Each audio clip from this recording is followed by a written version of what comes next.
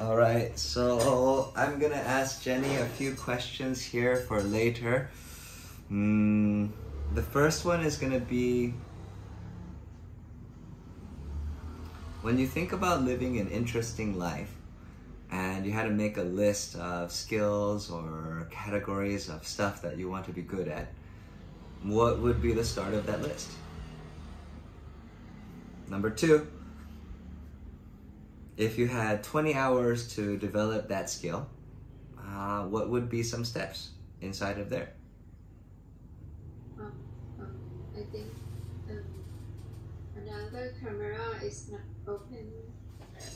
The other camera is not open. No, it's okay. Yeah, I'll, I'll show you in a second, okay? Okay. No problem. Yeah, yeah, yeah, yeah. Uh, and then question number three. Question number three is, man, there are so many different ways to tell stories. I feel that making video for a long time, I didn't really want to do it or use the energy to do it.